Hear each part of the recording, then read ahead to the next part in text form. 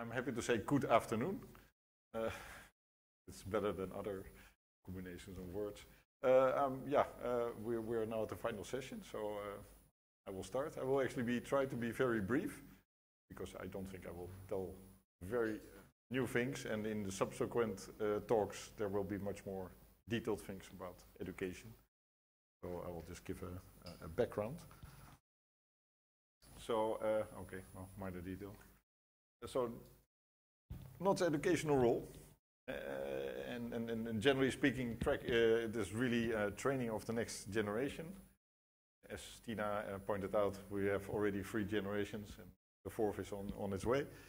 Uh, and of course, that also means they, they need to, to learn things, and, and, and there are very different levels to this. Simple thing is actually why why we want to do this. I mean, I think there are, it makes funny noises actually if I anyway uh, details. Um, so why? Uh, there, are, there are different levels. Uh, I think that's also uh, a task of the NOT towards the general community and also the specific community of astronomers. One is just science in general, and then I'm thinking like like uh, high school students, uh, the end of, of, of your secondary school. There you already uh, start to think about eh, promoting science, making it more uh, attractive to people, and astronomy is actually a very good uh, vehicle because it's very I would always, uh, astronomy is sexy. There's nice pictures, uh, things easy to understand, talk about exoplanets and stuff like that, supernova, black holes, they're always good. Then you have just the basic astronomy, and then you already talk about uh, university students, not necessarily astronomy, but you might actually promote it. Certainly, in physics students uh, might be interested in astronomy, and, and, then probably our main task would be on the on the professional astronomy part. So you have master and PhD students uh, the ropes uh, from application to uh, observations to reduction and, and publication. So uh, how do you do this? Okay, so in principle there are just two ways. Uh, one, of course, the observing courses, which I will say a bit more about, and the other part is, of course, oh, that one. The student program, and uh, Hans will tell much more about this at the very end.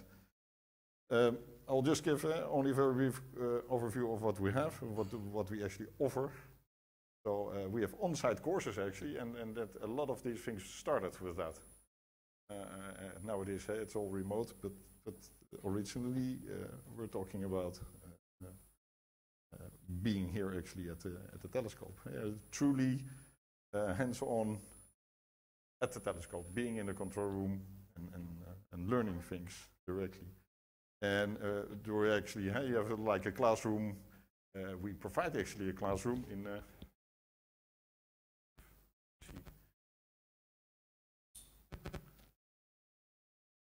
Anyway, doesn't matter. Uh, you, you see here the telescope, and uh, uh, there's also a building in front of it. Pristine snow. Of course, discovered by Norwegian, they're always the first to arrive. but, in this case, it was also true. You don't see any steps in the snow. In front of the telescope, you have the service building, and, and actually we can transform the service building to a classroom. And uh, this gives you an approximate, uh, this very old picture when, when I still had hair and that color. Uh, but you can see that this, this actually where, where normally the, the, the, the kitchen area is, and, and you can sit. Oh, let's see. Anyway, it doesn't matter too much. So yeah, uh, what we have done is we have set up two projectors and they actually show you what uh, observers see in the control room. in principle, this is the observing system. I'm explaining you something. And in front of us, we have a number of tables can set up. They are very similar to the tables you have here, same size. And, and you can sit actually three or four per row. And uh, what we normally do then is you have uh, uh, people in the control room itself, typically two or three, but plus a teacher or so, you cannot fit in too many. And, and the rest of the students can sit and, and see, and you can on the fly actually explain what is going on. The, at the same time, you have uh, students in the control room doing things, observing, taking exposures, whatever, and having their, their teacher or instructor with them. And at the same time, live, literally, literally you can you can view what is going on in, in the service building and uh, interact, etc. And then the idea would be that in groups, they go to the telescope and take over. So you go in uh, two hours, one group, then the next group, the next group, etc. So that's what we provide uh, for on-site courses. Of course, there, there are many more details behind it, but that is uh, too, too much to explain now. And of course, we have the remote solar courses.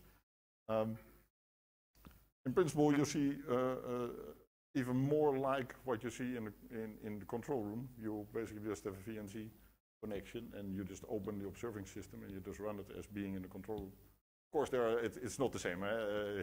you're a distant, but you can, in principle, uh, uh, just type the same things as you would do in the control room. Um, the, the, the, it is not precisely the same as the real experience because you cannot walk outside and look uh, at the sky, etc. You don't feel the telescope moving, and you don't hear sounds, etc. So of course you, there are uh, uh, um, how do you call this uh, facilities to make it easier. Um, partly we actually just have people in the in the control room, partly to to check what is going on. Uh, eh, that is also the safety part. Uh, eh, that people do not do strange things and you need to know. I mean, if the telescope doesn't close and the wild is raining, there needs to be somebody there. Uh, but at the same time, this person can also help you with, with uh, uh the observations itself. Uh, we have various things. We have, um, how to call this, a Skype connection set up. There are some other facilities, automatically downloading of the data. Uh, there are cameras you can use to look at uh, what is going on, etc. So there, it goes a bit more than just only seeing the observing uh, system. There, there's more detail to it. you might, this, this is actually a remote course, I believe in Sweden, if I remember correctly, but you see the same thing actually as before. But this is now a system that uh, is being run here. They're observing here in that control room, sorry, in that uh, room somewhere in the Nordic countries. And uh, at the same time, all the other people that are not using the observing system can see it as well. So there's a very similarity between the different setups, uh, except that it's from a distance. Of course, there's a lot of preparation involved, etc. But that is uh, that that is uh, how to call this also well defined. Um, so the usage, uh, what, what do we do? It is uh, again uh, as we, I did in my very first talk at the beginning. Uh, of the, the, the workshop. Uh, this is about what changes over the last 10 years or so. So when we talk about uh, 10 years ago, there were like something five nights per semester, and, and say two courses in total. and nowadays we're talking about 10 nights per semester, maybe even more. So actually 20 nights a year that are done in courses. Uh, it used to be actually in the beginning certainly mostly on-site, and nowadays uh, basically all of the courses are uh, remote. But uh, I would like to promote the on-site course because it does help to come and be at the telescope. In the last summer we nearly made it for the Danish course. Hopefully this time we get there. Good. Uh, what kind of uh, courses we have had? And really a large, I mean, I only will list uh, some of them, not even all of them, but there are international schools, uh, uh NEON schools, Opticon stuff, Nofor schools. We have also had radio uh, and optical courses together, and near infrared. we have actually a Nordic astrobiology network course. there's even this, so it goes wider in, in natural sciences.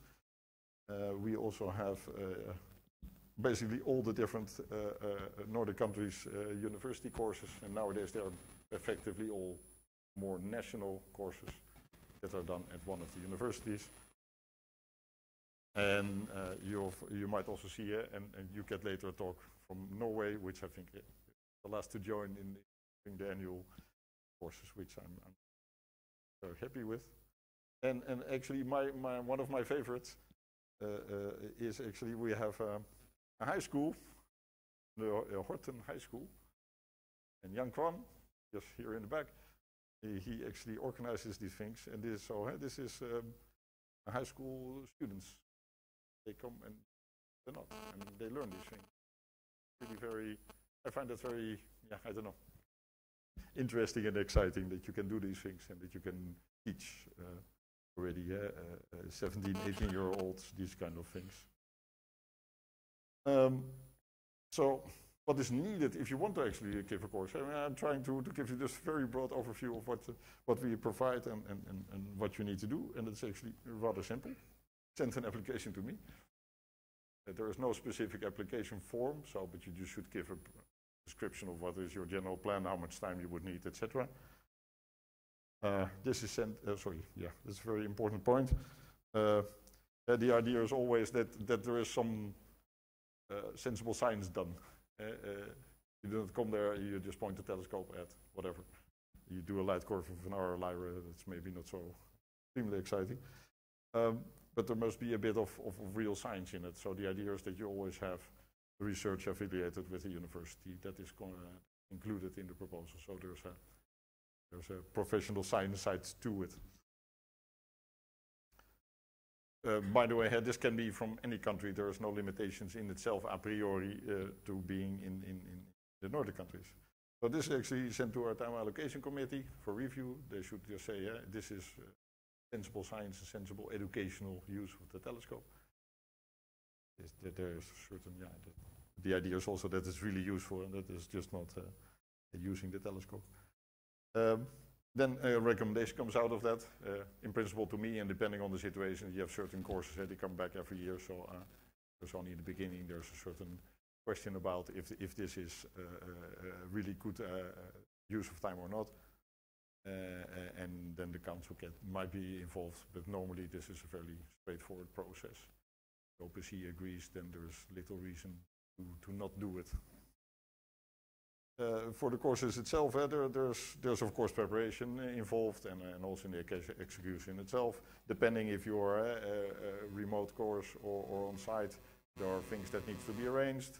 In, in, in, the case of a remote course, you have of course internet uh, that needs to be checked. The whole program needs to be prepared in advance, etc. In the case of an on-site course, this is a bit different. It's more like logistics, traveling here, coming here, lodging, driving up and down So uh, we in Prince our administration is also used to this. Uh, we have done it quite a few times. So that is principle all included if you want.